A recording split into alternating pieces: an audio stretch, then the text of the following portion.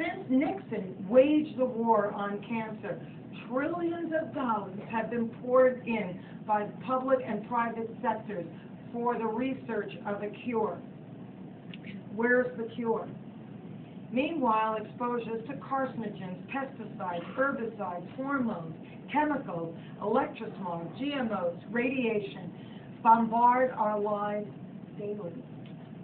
Frederick Douglass, a great American, once wrote, Power conceives nothing without demand.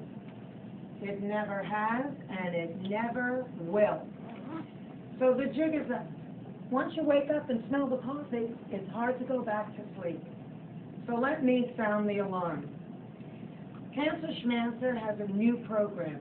It's called Trash Cancer. And we invite all of you to participate in that. On September 29th, 1,100 households are going to throw what's called the Trash Cancer Party.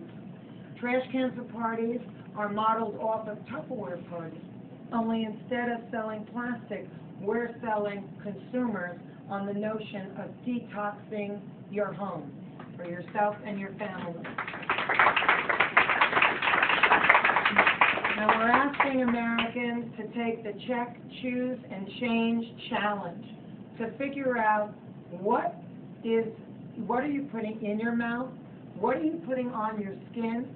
What are you cleaning with? What are you gardening with? And start making different choices.